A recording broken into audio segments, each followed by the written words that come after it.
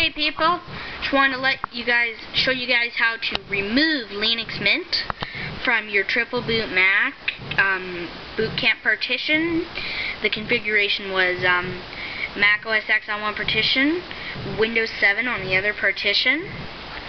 Um, I have mine modded as Windows 8, but still Windows 7.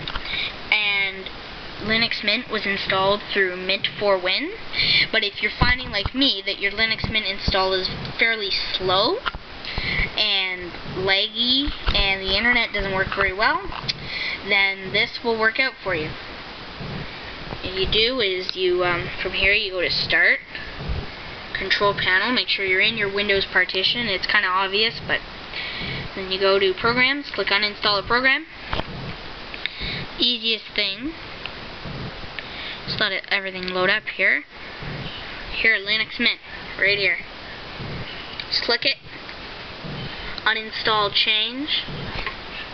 Then, so here we go, we're loading up. You are about to uninstall Linux Mint. Are you sure you want to uninstall? Uninstall. Remove bootloader entry. Linux Mint has been successfully uninstalled. See, boom, done, close. Now, when you reboot your computer.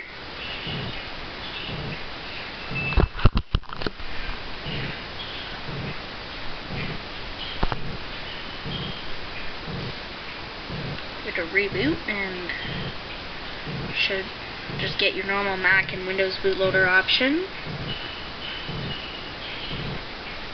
Here we go.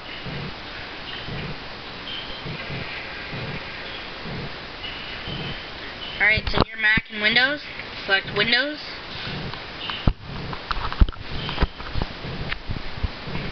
Here we go, I'll get my Windows flag on there. And then I should I shouldn't see the Microsoft Windows Boot Manager. Oh, wait, so you got the Windows Boot Manager here.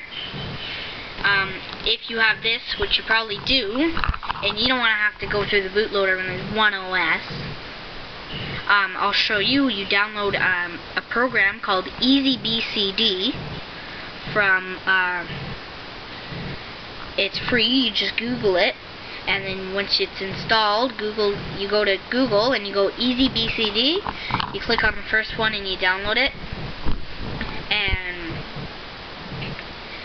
you, and then I'll show you what to do.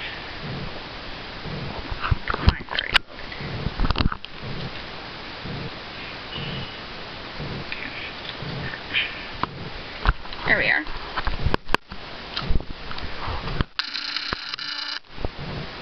on the desktop here, I've got EasyBCD 2.0. Here, EasyBCD. Oh. Double click it.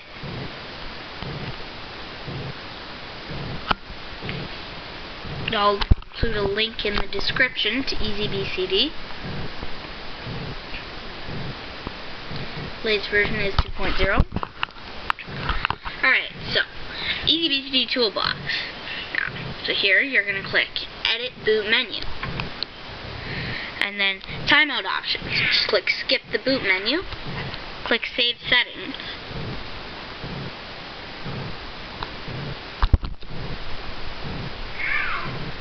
So here we go. It's gonna, it should give you something.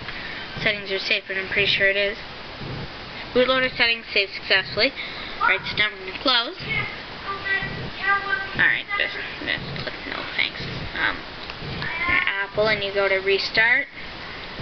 Now, again, once we restart, we should have um, pretty cool, should, should be cool, there should be no more Windows Boot Manager.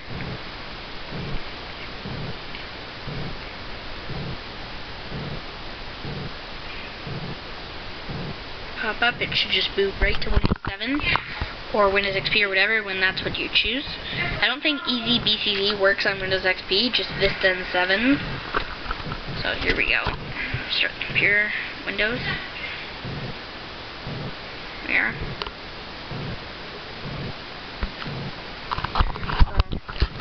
should hopefully just boot right into the Windows partition. Here we go, just starting Windows, no more um, Mac or no more Windows Boot Manager with just one option.